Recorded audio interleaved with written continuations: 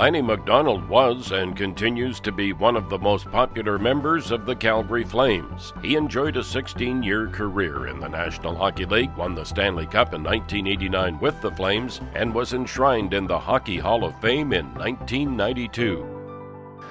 Oh, Lanny as a player was a guy that you looked up to. You know, he'd been through the wars, you know, his passion, um, passion for the game, his, his drive to win, to succeed. Uh, he just brought everybody with him. We had a wonderful leadership group. Lanny was at the core of that.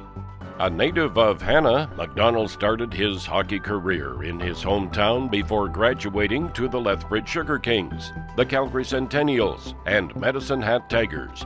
He came to Calgary to play, to try out for the Calgary Centennial junior hockey team. And our coach at that time was Scotty Munro. And uh, I was happened to be sitting at Scotty's desk in the office, and Lanny came through the door with a hockey bag and in a deal, and he I can just remember him walking that squeaky voice of his. He came in, and he says, "Hi, I'm Lanny McDonald, and I'm here to play hockey." And I just sat there and looked up, and I said, "Tell somebody that cares." Look at that, and he just went. the amount of people that it takes uh, to to help out and make people successful.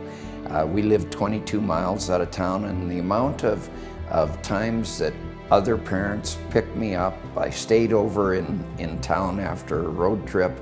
Uh, the people that, that you board with when you're playing junior hockey, all of those people play such a huge role uh, in finding a way to be successful. And all I can say is thank you.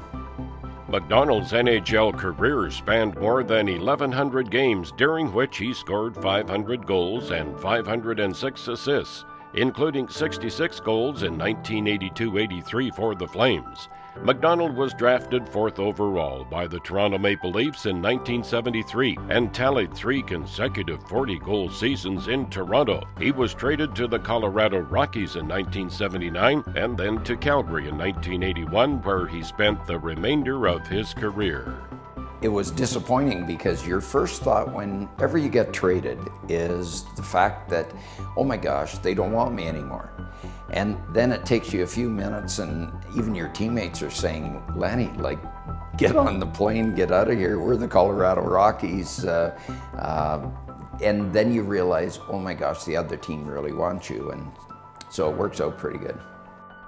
Lanny became a legend to many during the storied 89 Calgary Flames Stanley Cup run. Despite battling injuries, Lanny was able to play the pivotal Game 6 against the Montreal Canadiens, scoring the tying goal in the second period, sending the game to overtime in what would ultimately lead to a Flames victory.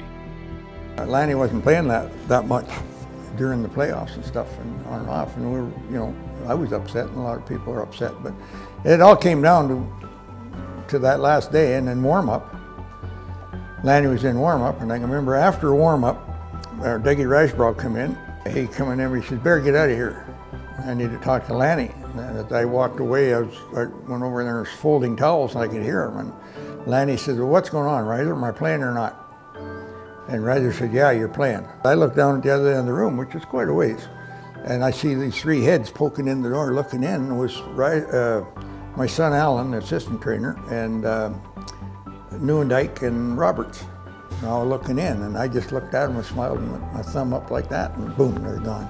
Within seconds, the, the hockey, the dressing room erupted. Guys hollering and screaming and yahooing and banging their sticks on the wall. And Risebrough turned around and looked. He said, "What's going on, Bear?" I said, "Never mind, Riser. We just won the game." In '86, when we were so close, and then you thought automatically you were going right back uh, to uh, the Cup Finals again next year, and it it didn't happen for three more years, and you start to wonder, is this ever going to happen? And and to finish it off in '89 uh, the way we did, uh, uh, and especially in uh, the Montreal Forum, where no team had ever won before, boy, it was just a magical run. After retiring in 1989, Lanny continued to be a cornerstone of the hockey community, both locally and nationally, continually donating his time and efforts to better the game. I think you, uh, you play an important role regardless of, of how long you've played, uh, the fact that kids look up to you. Uh, uh, so you try and make sure you put something back in all the time. Uh, you leave the game better than when you got there.